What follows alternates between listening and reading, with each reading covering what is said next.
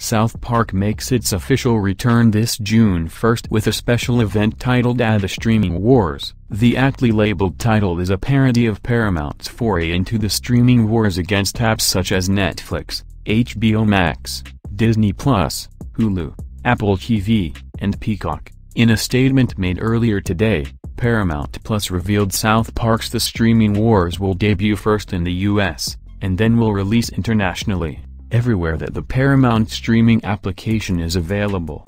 In South Park, The Streaming Wars, Cartman locks horns with his mom in a battle of wills, while an epic conflict unfolds and threatens South Park's very existence. That's not a whole lot to go off on, but we can assume that the boys and the many other popular characters are going to get in some crazy hijinks. If you have made it to the end of the video you are amazing. So comment your name down below for a shoutout in the next video. Let me know your thoughts in the comments. If you enjoyed make sure to like, comment, share, and subscribe. This is How to Entertainment and see you in the next video.